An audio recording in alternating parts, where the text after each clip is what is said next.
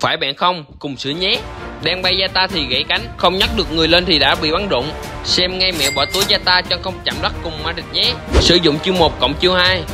Chúng mục tiêu sẽ tích một tầng nội tại. Lướt vào chúng chiêu 1 và chiêu 2 sẽ tích thêm hai tầng nội tại. Khi gia ta cất cánh sẽ có thêm một tầng nội tại nữa. Mỗi tầng sẽ giảm một giây hồi chiêu 3. Số tầng sẽ nhân 2 nếu như mục tiêu là tướng địch. Quậy combo gia ta chân không chạm đất sẽ là chiêu 2 lướt lên đánh thường lướt xuống chiêu 1 chiêu 2 đánh thường rồi tiếp tục lướt.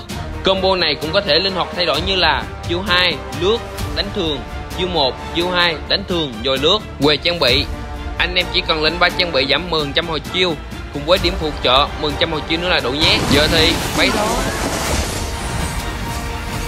ai vui chết tôi rồi.